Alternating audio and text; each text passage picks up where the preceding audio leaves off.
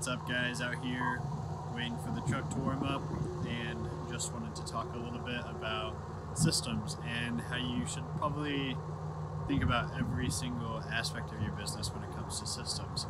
And so for me, I just really wanted to cover, I think there's like six basic ones.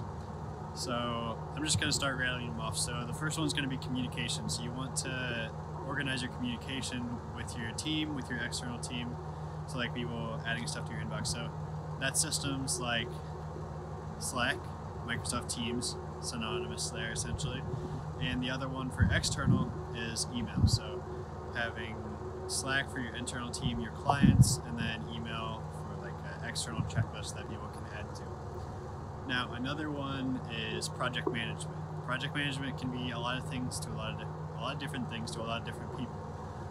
I think for most of the people that I work with, it works best to have something like Trello, like Asana, or like Monday.com, or even Airtable if it's set up right as your project management tool. Now, there's certain ways that you should be setting this up with like an agile design. So you have like a sprint, you have a backlog, you have different projects, you have different checklists that correspond to different processes in your business.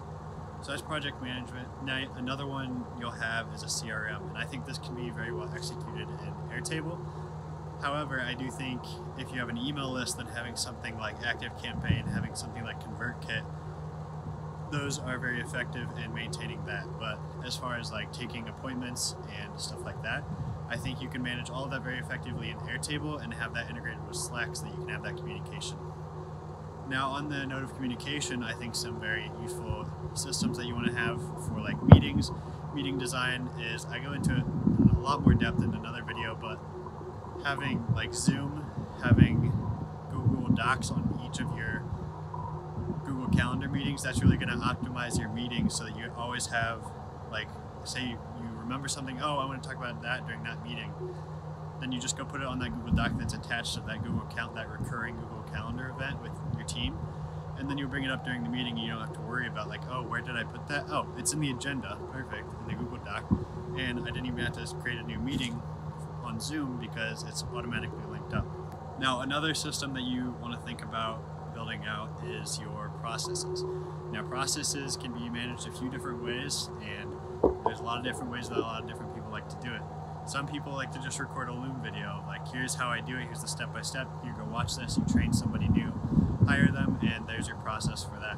So you can just go watch this video. Some people like to take that, put it into words. So you like you have a Word document, here's every single thing we do in our process.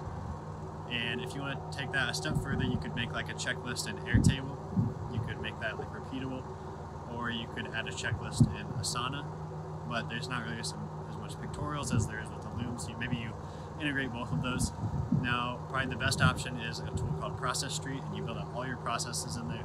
Say it's something random like hiring, firing, offboarding, something that doesn't happen very often, especially in small businesses. Then you might build something out in Process Street where it goes really in depth, and you can just hand it off to anyone and have them do it. Now, another thing is hiring that I just mentioned. So if you have a hiring process, I think there's a really good way to do it and there's a really bad way.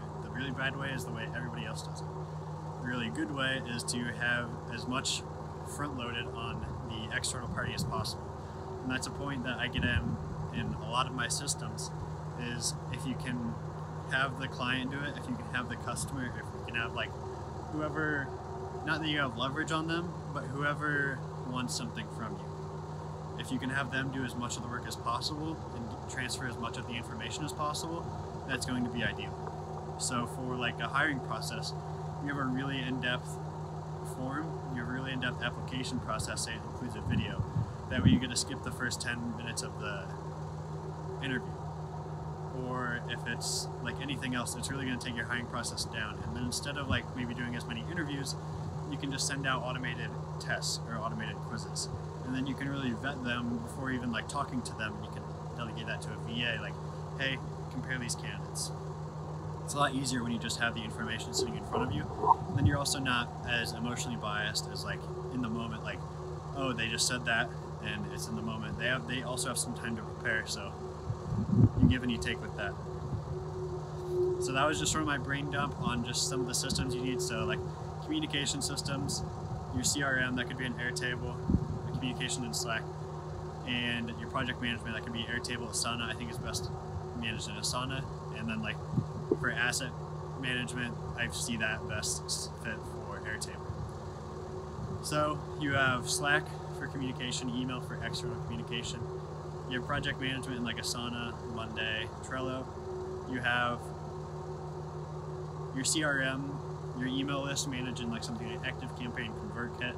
You have your actual CRM with like times people want to speak with you, managed like an Airtable and Calendly. Ideally, I know I didn't mention Calendly, but use Calendly.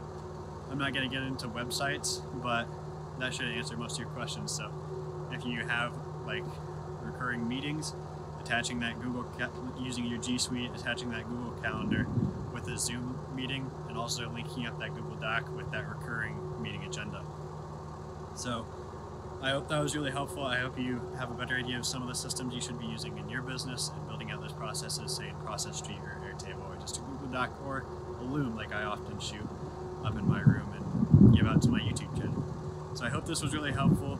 If you're curious about how to set up all the communication systems in your business, go check out this video right here. It's the end screen in this video, and you can learn, it's like a 20 minute in-depth about internal communication, external communication, and asynchronous communication, synchronous communication, as well as like Zoom meetings and agendas. So go check out that video and let me know what you think, and keep having a good day, and I hope this is helpful.